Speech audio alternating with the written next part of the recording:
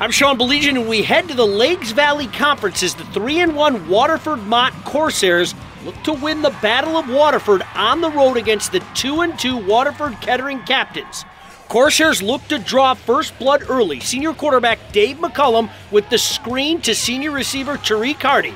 Breaks a tackle and takes this one down the sidelines for 23 yards. Corsairs up 6 to nothing. Second quarter action now. Mott up 12 7. Junior running back Marcus Guerrero gets the handoff, finds a hole, and he's off to the races for the 21 yard score to put the Corsairs up 20 7 heading into halftime.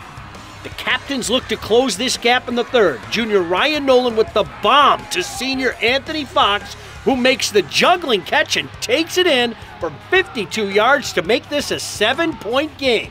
They would come no closer. Corsairs late in the third they go for it on 4th and 12 from the 22. McCullum scrambles and gets it to junior Matt Bradley for the go ahead score. Mott just keeps pouring it on the rest of the way, and they win this one 43 to 20 to take the Orr back home for the fourth year in a row.